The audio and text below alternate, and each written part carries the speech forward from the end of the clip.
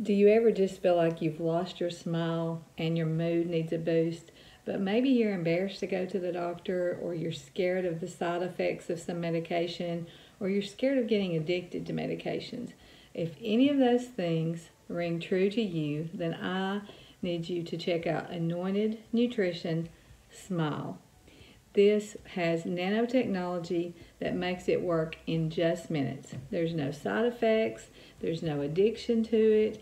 This stuff will literally flip the switch and give you your life back again.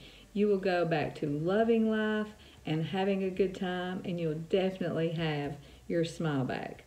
So, guys, I'm just telling you, this is a game changer, and you should truly give this a try because your smile is worth so much, and your life is too short to live not smiling.